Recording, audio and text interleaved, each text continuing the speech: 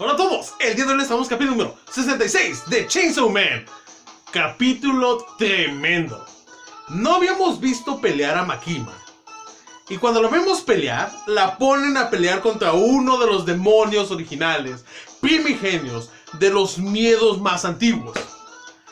Aquel que es más fuerte que el demonio pistola.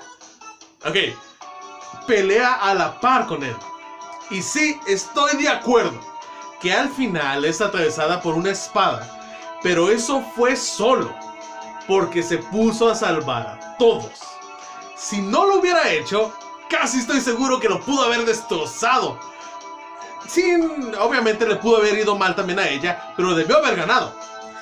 Vemos como el demonio oscuridad es atacado por Prince, que es la chica araña, y si logra apenas tocarlo, pero inmediatamente le vuela todas las extremidades.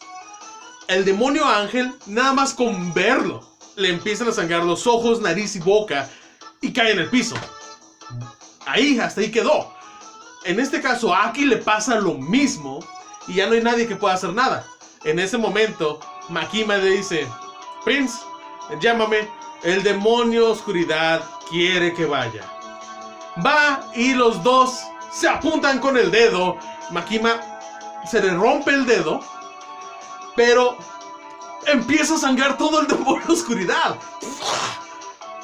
Luego, el demonio oscuridad hace un dorime, mientras en este caso Makima nada más pone su mano así, y sí, los dedos de la mano se rompen y luego el brazo también se parte en muchos pedazos, pero vuelve a lastimar fuertemente al demonio oscuridad. Y eso nada más es con dos ataques, cosa que nadie pudo hacer nada aquí.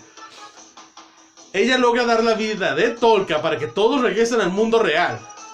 Y vemos como en este caso la nieta del Santa Claus de Alemania ya está utilizando el poder que absorbió del demonio oscuridad.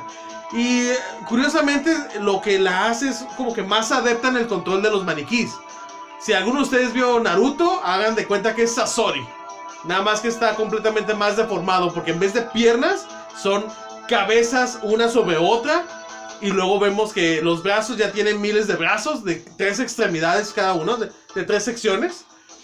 Y sí, eh, ya no es nada de lo que era ella anteriormente.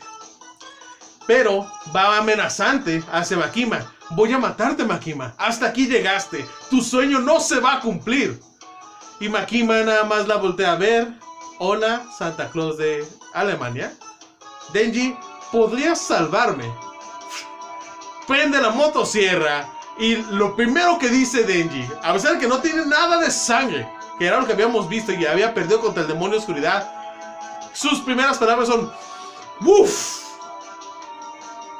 Y saca la sierra de la cabeza y de los brazos y está listo para patear el trasero de este Santa Claus de Alemania. Estoy seguro que en este capítulo que viene tiene que acabar con ella.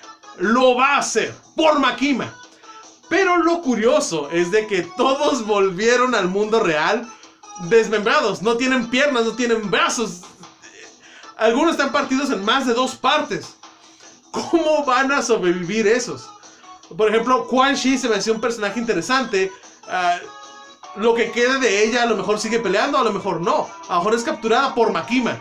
Todo esto no lo sabemos, pero sí sabemos de que volvieron mal de allá. Me acuerdo, y lo mencionó uno de los suscriptores del canal, de que había alguien que podía volver a poner los ojos en su lugar de toda la gente que se las quitaron, ¿cierto? Hubo, Makima llegó con una bolsa de ojos y dijo, es de sus familiares. Si ustedes quieren ayudarme, díganme los nombres de tal persona. Ok. Había una persona que podía volver a poner esos ojos dentro, sin problema, obviamente. Me imagino que esto también aplica para los brazos. O, por ejemplo, torso, piernas. ¿Qué puede pegar? Ese es el interrogante. Y eso es todo. Recuerda que si te gustó el video, haz un me gusta, compartir y suscribirte para que canal siga creciendo. Gracias y hasta luego.